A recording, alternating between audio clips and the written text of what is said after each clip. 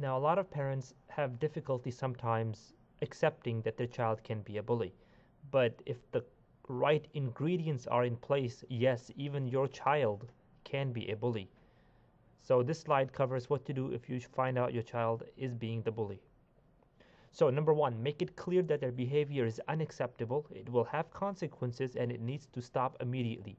Your child must understand the rules. They must know that our parents will not tolerate uh, such behavior.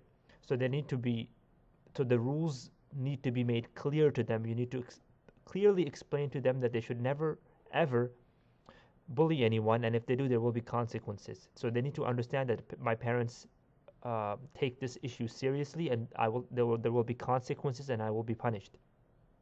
Number two, follow through with consequences. So a lot of parents they tell their kids when they find out that they're building bullying, oh wait till you get home, oh you know you're gonna get in trouble. But when they go home, nothing happens. So what you're teaching the child by this is that their con- their actions have no consequences. So they'll just keep doing what they want to do because there's no consequences to pay for. So make sure whatever punishment you set for or you whatever consequences you teach tell your child, you know, maybe you say if you if you find that you're doing such and such, we're going to take away your video games or some other privilege. Uh, make sure you go through with the consequences because if you do not, then they will not take you seriously. Um, number three, help them recognize how it is making the victim feel. Now, this comes in the so this is the issue of empathy. You have to make them feel like being in the shoes of the victim. You can ask them, how would you feel if your little sister or your little brother was being, you know, treated the way that you're treating this child? What if you were that child who was being treated that way? How would you feel? And they may say, well, you know, I will not like it. Well, you know what? That that kid that you were hurting also did not like it.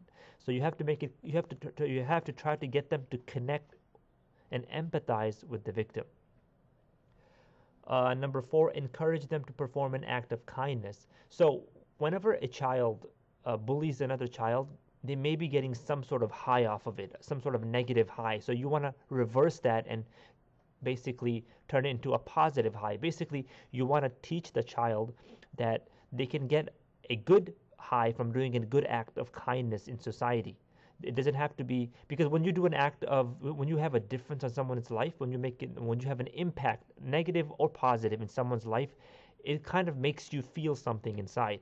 So you want to make your child feel good when you, you basically you want to teach your child that they can also have an impact on someone else's life and have that positive high by doing something good. And doesn't have to be something negative. So you know you can either you know take them to the soup kitchen help and help them um, uh, serve food to the homeless. You can either have them um, volunteer at a local nonprofit um, make them collect money for some cause or whatever it may be, but you want to make them basically uh, feel good about an act of kindness and having an impact, a positive impact on someone's life.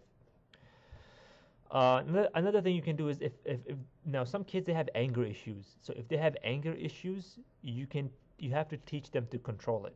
So you need to get them a therapist or a counselor, and you need to get them counseling and, and therapy to, in order to control their angry behavior.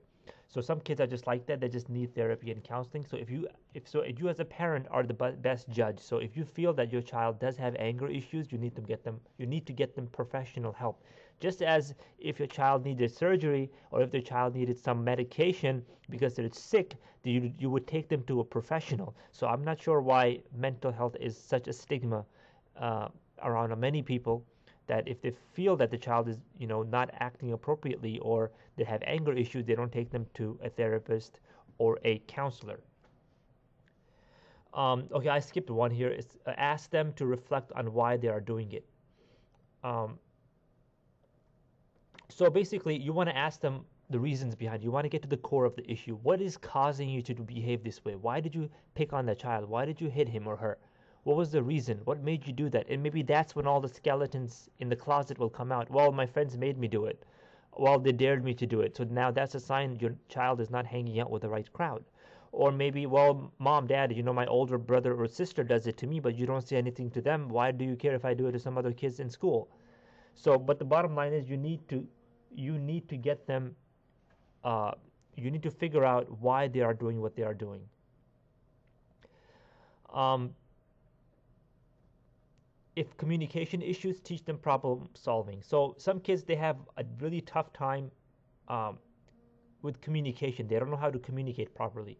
It might be some sort of mental illness, or maybe some other reasons, maybe some sort of a trauma as a child. But whatever it may be, some kids, or some kids are just shy. You know, they don't know how to properly communicate with other kids. They've never learned. Um, so in this case, you want to again get them. Uh, you you want to get them professional help if possible, but you want to teach them communication skills, especially on how to reach a compromise. A lot of kids who don't know how to communicate, they don't know how to reach a compromise. And in this world, you need if you want to get along, you have to reach, you have to learn to compromise. If low confidence, then help them feel better about themselves. So some kids, like I, so I said earlier in the slides, in the previous slides, that because of low self-confidence, uh, some kids, uh, many kids become victims of bullying. There's the opposite trend too. Some, in some cases, when kids have low self-confidence, they become the bully because that's the only time it makes them feel confident when they're picking on other kids. So because of self-confidence, because of low self-confidence, they become the bully.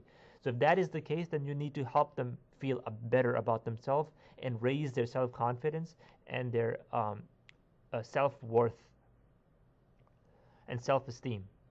And the last one here is you need to you need to know their friends because it is very likely that if a child is hanging out with a wrong crowd or a crowd of bullies, then they are most likely to bully themselves as well.